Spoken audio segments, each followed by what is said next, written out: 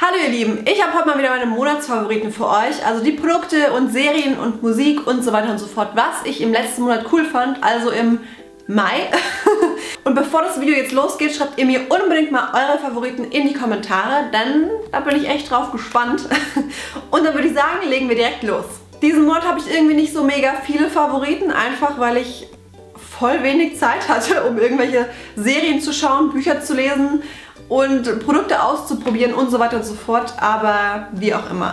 Wir starten mit Beauty und da habe ich erstmal etwas, was eigentlich jeder kennen sollte, aber naja, jedenfalls geht es um Penaten und zwar um das Babyöl, Intensivpflegeöl. Ja, das ist das hier, das ungefähr jeder als Baby wahrscheinlich benutzt hat, beziehungsweise die Eltern, naja, wie auch immer.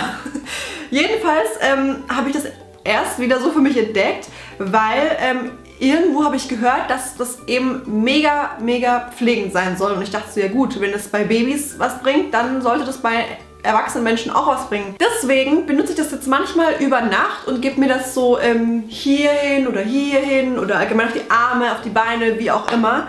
Und ähm, dann ist man natürlich sehr, sehr ölig, aber ich weiß nicht, mir macht das jetzt nicht so mega viel aus, wenn ich nachts schlafe. Und am nächsten Morgen ist die Haut so zart, Leute. Also es ist einfach richtig, richtig geil. Und deswegen muss ich schon sagen, dass ich das echt ziemlich, ziemlich cool finde. Und jetzt habe ich noch ein Öl, aber ein etwas anderes Öl. Und zwar von Balea das Reinigungsöl. Ähm, für trockene Haut steht jetzt hier, aber ich weiß jetzt nicht, ob es noch ein anderes gibt. Ich habe nur das hier gefunden. Und ich benutze das halt immer zum Abschminken, ganz einfach. Also ich, abends, wenn ich am Waschbecken bin, mache ich hier so ein paar Pumpstöße ähm, in meine Hand so fünf oder sowas. Und dann verreibe ich das so ein bisschen und reibe mir die Schminke vom Gesicht und das ist echt ziemlich cool. Ich habe immer die ähm, Balea Reinigungstücher benutzt oder die BB Reinigungstücher so und die habe ich wirklich jahrelang benutzt, aber die sollen ja jetzt auch nicht so mega geil sein und Öl ist ja sowieso immer besser, weil es halt Öl ist und pflegt. Deshalb bin ich jetzt auf das Öl umgestiegen und ich muss sagen, es hilft echt gut. Ich habe jetzt auch nichts dran auszusetzen und ich finde es eigentlich schon nicht schlecht. Jetzt habe ich etwas, was ich wirklich abgöttisch geliebt habe diesen Monat. Ich bin wirklich completely in love damit. Und zwar ist das von L'Oreal ähm, diese Maske hier. Und zwar ist das äh, die Detox-Maske mit Tonerde. Und ähm, die reicht für, ich glaube, circa 10 Anwendungen. Und ich mache das immer zwei bis dreimal die Woche. Also eigentlich immer dreimal. Es ist schon ein bisschen eklig so, aber ich finde es halt mega geil, dass es in so einem Töpfchen ist. Und wie ihr seht, ist der Topf auch schon so gut wie leer. Also ich denke mal, ich kann jetzt noch zweimal eine Maske machen und dann war es das auch schon. Und ich habe mir auch schon eine andere davon nachgekauft, denn ähm, es gibt aus dieser Reihe irgendwie drei Stück. Eine, die ist so rötlich, eine, die ist so hellgrün und dann noch die hier. Und die fand ich echt mega nice. Meine Haut hat sich echt verbessert. Also, okay, ich hatte jetzt eh nicht so mega krasse Hautprobleme oder so, aber ich dachte mir so, okay, irgendwie besser geht's ja irgendwie immer. Und deshalb habe ich die ausprobiert und ich muss sagen, die ist echt mega cool. Also meine Haut wurde viel ebenmäßiger und allgemein einfach besser. Ich trage die auch immer mit einem Foundation-Pinsel auf, weil dann ist es nicht so, dass ich jedes Mal mit meinen Händen da reinpatsche und naja, ich weiß ja nicht. Ähm, deswegen, das kann ich auch sehr empfehlen. Und ich finde, es macht auch mega Spaß, eine Maske mit einem Foundation-Pinsel aufzutragen. Bin ich die Einzige, die so denkt oder ist da jemand von euch auch dabei? Und ich muss sagen, ich freue mich jede Woche auf die Tage, an denen ich meine Maske auftrage. Und ja, ich weiß auch nicht, es macht echt mega Spaß und die Haut ist echt besser geworden. Und dann habe ich jetzt noch äh, von Schwarzkopf Glisskur die Liquid Silk Express Repair Spülung. Das ist die hier, die hatte ich mal im Tauschpaket ähm, von der Sarah von Gossip Gold, wenn ich mich richtig erinnere. Ich habe die wieder für mich entdeckt, die ist echt mega nice. Ich nehme die immer und ähm, schüttel sie. Und wenn meine Haare noch nass sind nach dem Waschen, gebe ich die halt überall so ein bisschen rein. Erstens duften dann die Haare so hart gut, weil es einfach so lecker riecht. Oh, yummy, yummy, yummy.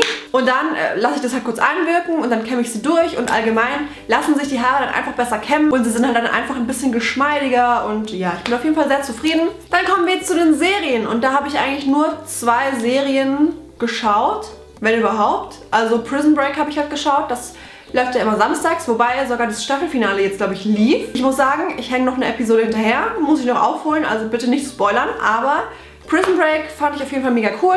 Auch wenn ich die Staffel jetzt nicht so krass finde, wie schon manch andere, die davor liefen. Aber trotzdem, Prison Break ist eigentlich immer so ein Favorit, ne? Und die zweite Serie, die ich sehr, sehr geliebt habe diesen Monat, ist Famous in Love. Und ich bin mit der Staffel, also mit der ersten Staffel, bin ich eigentlich schon komplett durch. Ich glaube, eine Episode fehlt mir auch noch. Ich liebe diese Serie, die ist echt mega cool. Die ist ja auch von der Macherin von Pretty Little Liars. Es geht um ein Mädchen und dieses Mädchen will Schauspielerin werden und geht zu einer Audition und wird plötzlich Star von einem richtig heftig krassen Film. Also über Nacht wird sie ganz, ganz berühmt und ähm, ist plötzlich in diesem ganzen Hollywood Glamour Life drin. Und dann kommen natürlich auch ein paar Jungs ins Spiel. Ähm, und Probleme und Intrigen und Geheimnisse und alles Mögliche. Und ich finde das echt ziemlich, ziemlich cool. Und ich bin auch schon mega auf das Staffelfinale und auf die hoffentlich kommende zweite Staffel gespannt. Ich muss zwar sagen, die Hauptdarstellerin ist ja Bella Thorne und die mag ich ja leider nicht. Ähm, Habe ich ja schon mal gesagt, weil sie ja Tyler Posey verarscht hat. Naja, egal. Aber ich muss sagen, sie spielt das echt, echt gut. Und ich finde, in der Serie wirkt sie mega sympathisch, auch wenn man sie als, als Schauspielerin irgendwie nicht so mag, aber ihren Charakter mag ich halt voll gerne irgendwie. Ich weiß auch nicht. Aber ich finde, das spricht auf jeden Fall für sie und die Serie ist auf jeden Fall mega cool. Und jetzt kommen wir noch zur Musik und da habe ich zum einen natürlich, selbstverständlich, das Album von Harry Styles hoch und runter gehört. Ich weiß gar nicht, welches Lied mein Lieblingslied davon ist. Ich kann es echt nicht sagen. Wobei ich finde dieses ähm, Kiwi, Ka Kiwi, Kiwi, Kiwi, wie auch immer, das finde ich geil. Und Meet Me in the Hallway. Und natürlich Sign of the Times, das mag ich auch sehr, sehr gerne. Und Two Ghosts eigentlich auch. Ach, eigentlich alles. Und Ever Since New York auch, aber egal. Und dann habe ich auch noch, ich weiß nicht, ich habe diesen Monat so viel alte Musik einfach gehört, aber halt so, als ich einfach so 12 war, 13 war, zum Beispiel Hilary Duff, ähm, das Album Metamorphosis. Ich habe es früher hoch und runter gehört. Ich glaube, ich war in der fünften oder sechsten Klasse, ich glaube fünfte. Und Hilary Duff war einfach die Heldin meiner Kindheit und Jugend. Ohne Spaß, Leute. Und ansonsten habe ich auch richtig viel alte Hip-Hop-Musik gehört. Also zum Beispiel ganz viel von 50 Cent und, und DMX und, und Eminem und Kanye West und so weiter. Und ich bin einfach so in den 2000ern hängen geblieben, was Hip-Hop betrifft, glaube ich. Ich liebe die Musik so sehr, aber naja, die von heute auch, ne? Ich habe übrigens auch eine richtig coole ähm, Playlist auf Spotify, die halt voll so 2000er und halt auch ein bisschen später, also die letzten Jahre, Hip-Hop enthält ähm, und auch teilweise andere Sachen. Ich nenne sie meine Turn-Up-Playlist, weil ich die immer im Auto höre und da kann man richtig gut abgehen. ähm, ich verlinke die euch mal in der Infobox, weil die höre ich immer, wenn ich irgendwie Auto fahre und einfach abgehen will und mitsingen will und mitrappen will und sowas und ich liebe diese Playlist so sehr. Wie gesagt, schreibt mir jetzt unbedingt mal eure Favoriten in die Kommentare, das würde mich sehr, sehr interessieren. Und wenn ihr irgendwelche Videowünsche für den kommenden Monat habt, dann schreibt mir die auch mal in die Kommentare, denn ich will ja auch Videos drehen, die euch gefallen. Wenn ihr neu hier seid, würde ich mich natürlich sehr darüber freuen, wenn ihr mich abonniert und wenn euch das Video gefallen hat, dürft ihr mir natürlich auch gerne einen Daumen nach oben geben. Instagram, Twitter, Snapchat, Facebook und so weiter und so fort ist alles in der Infobox verlinkt, wie immer. Und dann würde ich sagen, wir sehen uns beim nächsten Mal wieder und ich wünsche noch einen wunderschönen Tag. Tschüss!